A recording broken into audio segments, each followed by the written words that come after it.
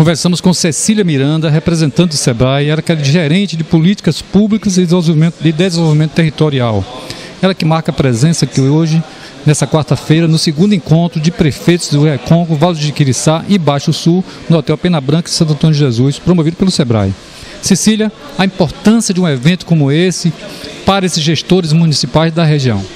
Bom, o objetivo do maior do encontro é mostrar para os gestores públicos que eles podem construir políticas públicas voltadas para os pequenos negócios, para conseguir desenvolver melhor a região. Então a ideia é mostrar para os gestores que é possível, juntos, a gente construir políticas e ações que possam fazer com que os empreendedores da região possam se desenvolver. E eu acho que é, o objetivo foi cumprido, porque a ideia é que a gente consiga criar uma rede, formar uma rede do território aqui para a gente poder trabalhar melhor as condições de empreendedorismo aqui na região.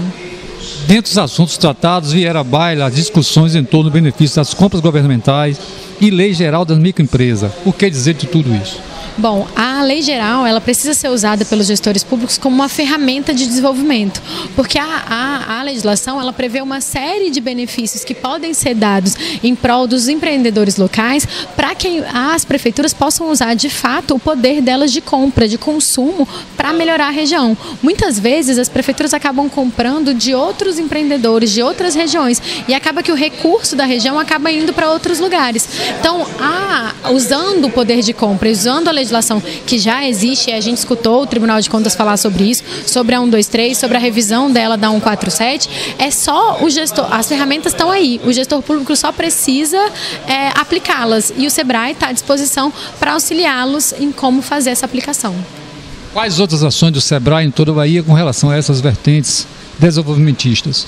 Bom, a gente tem um trabalho forte em relação à simplificação de processos, à desburocratização, a fazer com que as prefeituras tenham só a burocracia boa, que é aquela burocracia que favorece o, o desenvolvimento econômico, favorece a atividade comercial. Então a gente precisa mapear processo para entender como é que quais são os gargalos que a gente tem em relação à abertura, à formalização e também em relação ao licenciamento, ao vará, a todas essas questões que são relacionadas ao funcionamento. E a gente tem um trabalho muito importante também com as salas do empreendedor que são o local onde o empreendedor pode conversar com a prefeitura e a prefeitura pode disponibilizar todos os serviços que ela tem em relação aos empreendedores num local único. Porque se o empreendedor tiver que ir em milhões de secretarias, milhões de locais para poder conseguir informação, ele acaba se perdendo e a atividade econômica não, não é fomentada. Agora, se a prefeitura organiza os seus serviços e aí chama parceiros como universidades federais, Instituto Federal, o próprio SEBRAE, SES e outros parceiros que podem trabalhar, que trabalham pelo empreendedor e estão todos no mesmo local,